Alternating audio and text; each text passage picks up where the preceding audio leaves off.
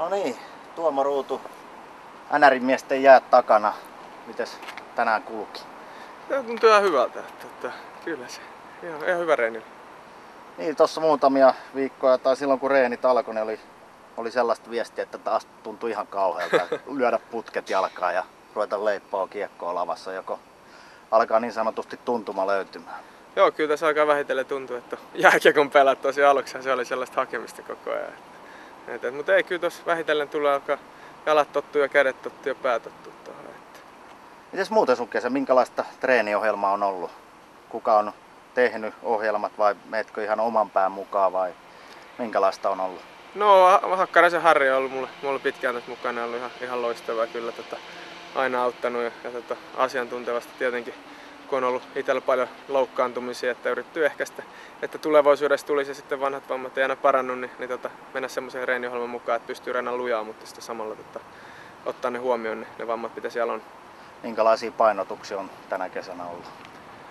No kyllä mä oon pari viime kesää niin kuin oikeastaan painot, painottanut sellaisen, että miten musta tulee hyvä, hyvä jääkiekon pelaaja, hyvä luistelija. Että, että mä uskon, että huippurheilija pitää yrittää kehittyä niin kauan, niin kauan kun se pelaa, että aina menee eteenpäin ja mulla on luistelussa paljon kehitettävää, eli sinne yrittää tota, saada kehitystä sitten räjähtävyydellä ja ihan, ihan sitten tota, itse yleensä aina tavallaan semmoisia niin luisteluomaisia liikkeitä.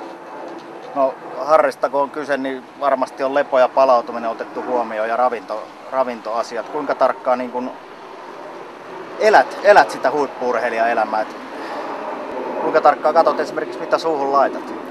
Kyllä mä katson tosi tarkkaan, että, että tota, ei, tosi tarkkaan sillä, että, että, että, että yrittää syödä mahdollisimman hyvin. Ja oikeastaan se sapluna on siinä, että syö tarpeeksi. Että mieluummin, mieluummin sitten syö vähän huonompaa kuin jättää syömättä kokonaan. Että, että, mutta kyllä mä aika tarkka niissä kaikissa on. Ja se ei ole pelkästään oikeastaan tuon huippurheilun takia, vaan mulla, mulla on silloin yleensä hyvä fiilis muutenkin. Että, että pää toimii ja semmoinen energinen olo, niin kyllä mä niihin tosi paljon kiinnitän huomioon.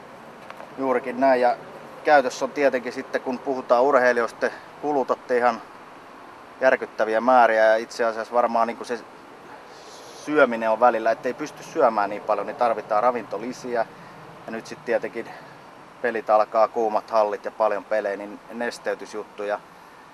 Oot Nordfossin tuotteita käyttänyt. Kuinka tärkeää, minkälainen se ajatusmaailma sulla näissä on? Tiedän, että puhuit, että niin kuin säilöntäaineet ja lisäaineet ei kuulu sulla siihen juttuun, niin avaa vähän sitä ajattelua.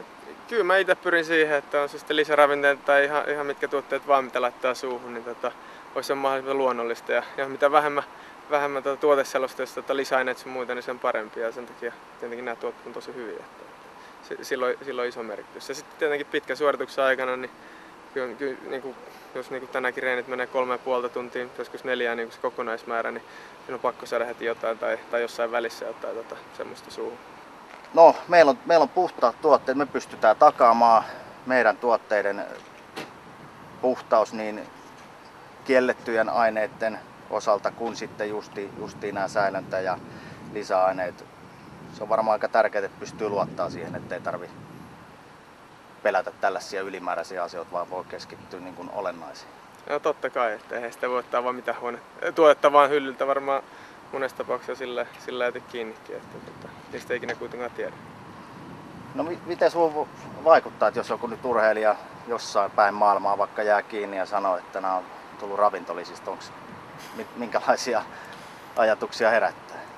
No en mä tiedä, ei se jokainen, se on jokainen, jokaisella on oma oma tunto ja ne tietää mitä ne on tehnyt. Että mistä tiedä, joskus voi olla totta, joskus voi olla, että ei ole totta. Vaikea siihen sanoa mitään. Pääasiat, oma paketti on kunnossa. Niin, näin on. No mennään sitten vaikka tulevaan alkavaan kauteen, minkäs näköiseltä Karolainan nippu, nippu näyttää alkavalle kaudelle? Kyllä musta ainakin tuntuu ihan hyvältä, että muutamia, muutamia vahvistuksia, että tosi iso, iso vahvistus oli, että toi, tota, Thomas Kaberli tulee meille yli, ylivoima tota, quarterback siinä ja, ja sitten tota, koko ala saatu lisää Poni Karovski ja Anthony Stewart, joka pääsi tosi hyvä viime kauden. Että, me ollaan sitä kaivattukin vähän ryminää ja, tota, ja kovuutta joukkueeseen. Niin sun lisäksi. ei, mä tiedä. ei, ei, mä tiedä. On meillä, on meillä muitakin ollut, mutta se on aina parempi mitä enemmän on, että, että, että on tietynlaiset pelotteet jäällä, että ei voi, ei voi tota, joutua aina pitää pään pystyssä. Mites oma rooli, minkälaista roolia otat sieltä? No, en mä tiedä, joko sitä viime kaudella mä pelasin tota, keskussyökkää, toivottavasti varmasti siinä, siinä ehkä jatketaan. Ja, en mä tiedä, yrittää ottaa niin iso rooli kuin pystyy ja, ja tota, mennä omilla vahvuuksille ja sitten toivottavasti tota, ja piilottaa ne peukkeudet niin hyvin kuin vaan pystyy, että, että, että vaikea sitä sanoa. Että kyllä tässä ihan mies hyvässä kunnossa. On, onko nyt jo viides kausi taitaa lähteä, eikö näin on vai onko? Karlanes vai? Niin, Karolaines. Tämä taitaa olla neljäs kokonainen Joo. kausi, joo. Joo. Miten viihdyt siellä ja miten muuten sopimustilanne joko alkaa kiinnostaa lähteä muuallekin katselemaan? Ei, kyllä mä oon tosi hyvin viihtynyt ja no, tota, vaikka nyt pari viime vuotta ja päästi playereihin ennen, mentiin sitten konferenssifinaaleihin, niin, tota, äh, niin kyllä, mä, kyllä mä uskon ja luotan tuohon joukkueeseen tosi hyvin viihdyn, että ei, ei kyllä mitään halua mihinkään muualle. Mikä sulla on pahvitilanne tällä hetkellä? Tää on viimeinen vuosi, katsotaan No no, niin, näytö- vuoden jälkeen. Näin, on, että näin, joutuu vähän rymistelee ja heittää pari nyyttiä. näin, on, näin on. Hei Tuomo, tosi paljon kiitoksia ja tseppiä alkavaa kauteen. Joo, kiitos.